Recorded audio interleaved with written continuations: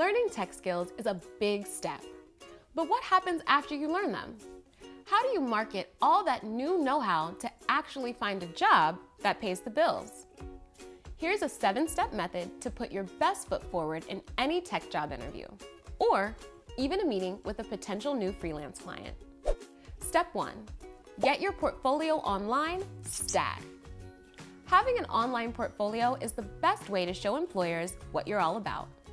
This can be a portfolio site you built yourself, or even a profile on Behance or GitHub, depending on the role you're after.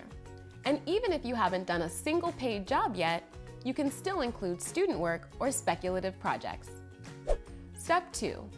Take on freelance projects. Whatever your ultimate tech goals are, freelancing is a way to build a body of work that you can show off in interviews. Remember, your first projects don't have to be huge. Consider something like a redesign of a local restaurant's website or creating an HTML newsletter for your friend's nonprofit. Step 3. Keep learning. A great way to market the skills you have is to complement them with more skills. If you've tackled HTML, CSS, and JavaScript, consider adding design skills to your toolkit, or vice versa. Or branch out into UX or digital marketing. Stacking skills allows you to be flexible with what you can do for clients, which is a great marketing approach in itself. Step 4. Share your work.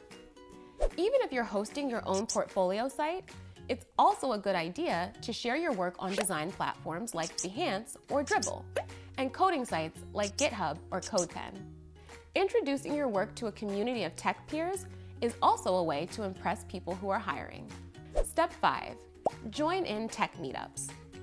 Speaking of community, meeting other tech workers in person is another way to market yourself and your skills.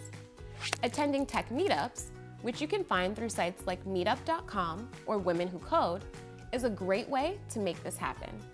And if you live somewhere where an in-person meet isn't possible, don't sweat it.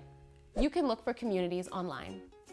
Answer questions on Stack Overflow, comment on tech Twitter threads, or help out on the WordPress.org forum. Step 6. Keep up with industry news.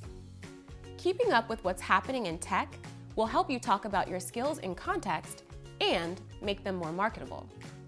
Read tech blogs, listen to podcasts, and follow tech leaders on Twitter. Step 7. Interview for a tech job, even if you're not sure you're ready. Practice makes perfect, so why not try interviewing for some tech jobs? What's that? You're not ready?